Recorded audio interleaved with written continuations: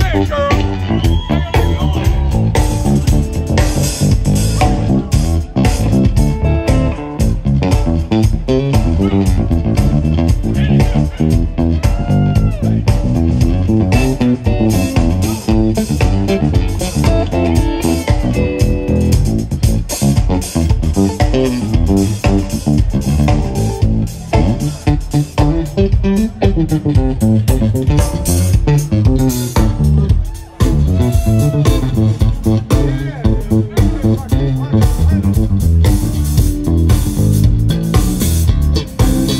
Blues Music Award winner, Lisa Mann. Give it a applause.